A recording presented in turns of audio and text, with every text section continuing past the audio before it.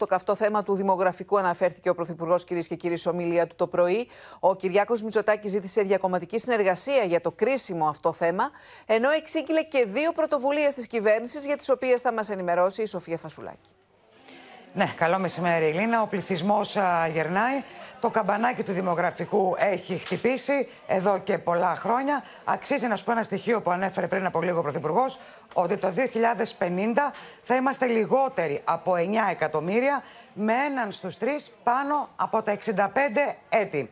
Καταλαβαίνεις λοιπόν ότι θα πρέπει να υπάρξει άμεσα ένα σχέδιο με διακομματική συνένεση, ώστε αυτό το πρόβλημα του δημογραφικού να λυθεί όσο το δυνατόν γρηγορότερα, με τον Πρωθυπουργό να εξαγγέλει α, δύο πρωτοβουλίες, οι οποίες θα γίνουν άμεσα, όπως είπε χαρακτηριστικά. Η πρώτη είναι να λειτουργούν οι παιδικοί σταθμοί και τα δημοτικά σχολεία μέχρι τις 6 το απόγευμα, ώστε ε, τα παιδιά να κάνουν εκεί την, το μάθημά τους μετά το μάθημα, δηλαδή τι, να διαβάζουν τα μαθήματά τους ε, εκεί, ώστε να διευκολύνονται οι οικογένειες αν τυχόν έχουν ένα δεύτερο παιδί στο σπίτι, ενώ αναμένεται να εγκατασταθούν γυναικολόγοι και παιδίατοι στα νησιά ως ένα κίνητρο για να μην φεύγει ο πληθυσμός από αυτές τις περιοχές. Σε ευχαριστώ πολύ. Πάμε να ακούσουμε τι είπε συγκεκριμένο ο Πρωθυπουργός.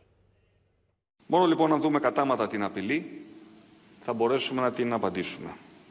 Διαφορετικά, όπως είπατε, το 2050 η χώρα μας θα έχει λιγότερους από 9 εκατομμύρια κατοίκους, με έναν στους τρεις να είναι άνω των 65 ετών.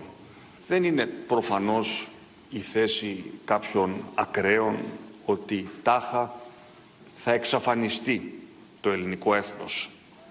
Αυτό έχει αποδείξει για πολλούς αιώνες τώρα ότι και αντέχει και ανανεώνεται και εμπλουτίζεται.